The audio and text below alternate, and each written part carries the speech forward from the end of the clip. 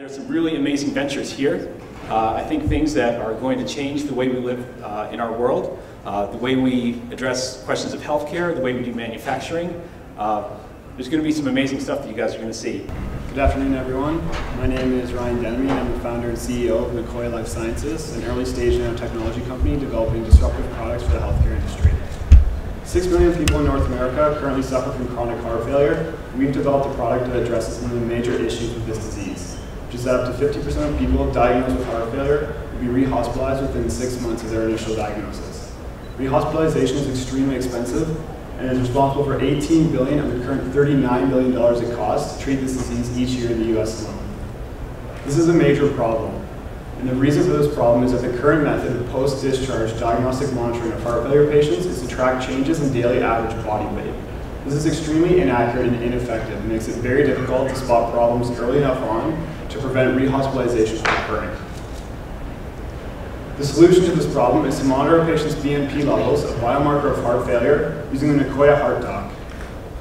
Much like a diabetic manages their disease through the use of glucose measurements, a heart failure patient can monitor their BNP levels and use this to adjust medications or make lifestyle modifications, which has been clinically proven to reduce rehospitalization by up to 60%. We've developed the first home-use BNP diagnostic test. It takes a small finger prick droplet of blood and can determine the concentration of BNP in less than 15 minutes and for less than $5 per test. Our product can be used in the patient's own home. Through smartphone integration, uh, the results can be easily tracked and securely uploaded to the, to the, or sent to the physician for review. Our product's competitive advantage is our novel patent-pending optical sensing technology based on localized surface plasmon resonance, or LSPR. LSPR is an optical phenomenon associated with metal nanoparticles and results in an optical resonance peak. This resonance peak shifts in position when a biomarker of interest, such as BNP in this case, binds to the surface of the nanoparticle via specific capture probes. Now, LSPR has been around for over 10 years, but we've made significant improvements to this technology through the incorporation of nanoparticles into novel nanoporous sensing membranes, essentially creating a 3D architecture. This new architecture greatly improves device performance and allows us to measure biomarkers at clinically relevant concentrations at a cost accuracy, and speed that competitors currently cannot match. This is a $2 billion market opportunity. We plan on entering this market by partnering with a larger established medical device firm and using their established distribution and sales channels. We've received seed funding current, from the University of Waterloo and the Canadian federal government and are currently building our first prototype. We have a team of experienced engineers with over 25 years of experience in sensor design. We've established an experienced advisory board with expertise in healthcare, technology, and business. Together, we're going to commercialize this innovation and change the world of healthcare forever. Thank you.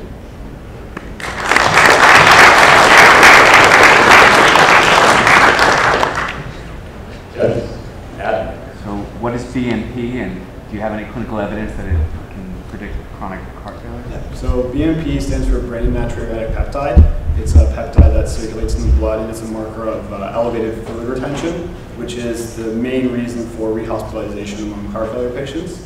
Um, and there have been clinical studies done showing that there's a 60% decrease in rehospitalization uh, when uh, BNP is used to titrate medication versus the standard care, which is just using daily average body weight. So someone has to draw their own blood for this assay? Yeah, it's a finger prick drop of blood. And um, what do you do about fouling due to other components of the blood?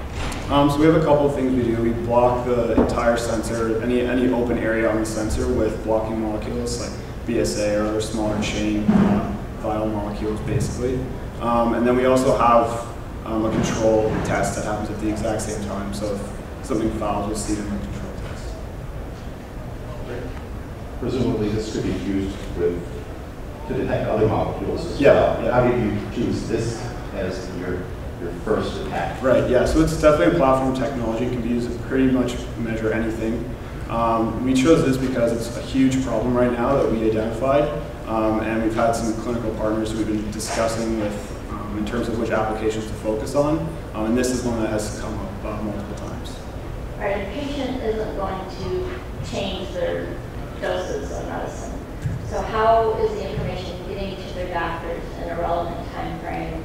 And are the doctors willing to look at that information in, in that kind of frequent time frame? Right. Right, so the, the test would be done pretty much daily, but the physician wouldn't review the test daily, obviously. They would review it maybe every two to three weeks. Um, but the reason you need that frequent, uh, those frequent data samples is because just by physiological variation, you're going to get a lot of changes in the level of BNP. So you need enough points to give you a, a solid average over time. And so once you can get that average over time, the physician can review it every two or three weeks. And if the levels are continuing to go up, then the, the physician will intervene and say you should up your dose of diuretic medication, or we should switch you to this, this different brand of medication because this one's not working. So they wouldn't be reviewing it every day, but it'd be every two to three weeks. But um, right now, they pretty much visit the hospital every three to four weeks um, because of complications because they can't manage the disease properly anymore. Uh, So you're measuring the surface plasmon resonance shift, essentially? Yep. And you look at, you're using a spectrometer to do so?